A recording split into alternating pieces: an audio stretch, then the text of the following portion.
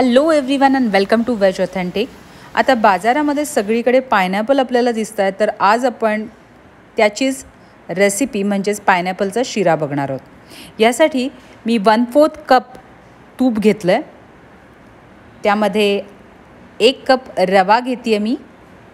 रवा आपल्याला चांगला गुलाबी रंगावर भाजून घ्यायचा आहे गॅसची फ्लेम लो ठेवूनच आपल्याला रवा भाजायचा आहे जेणेकरून रवा खमंग भाजला जाईल.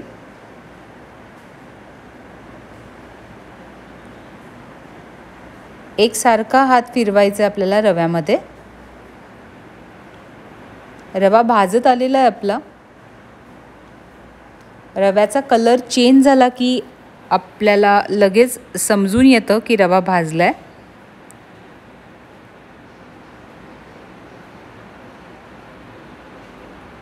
रवा आपला गुलाबी रंगावर भाजून झाला आहे इथं मी वन फोर्थ क्ल कप शुगर घेते आहे साखर घेते आहे त्याशिवाय त्यामध्येच वन फोर्थ क्ल कप पायनॅपलचा पल्प मी घातला आहे पायनॅपल जर आंबट असेल तर तुम्ही पल्प थोडा कमी घाला नाहीतर शिरा आंबट होण्याची शक्यता असते.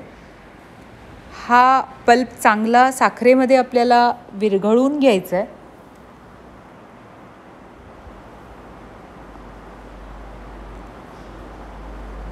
इकडे साईड बाय साईड मी रवा पण भाजती आहे तर रवा आपला चांगला गुलाबी होऊपर्यंत छान भाजून घ्या. त्याशिवाय शिऱ्याला चव चांगली येत नाही.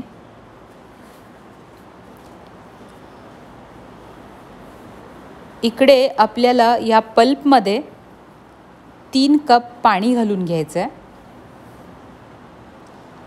आणि चांगलं उकळी येऊ द्यायचं याला.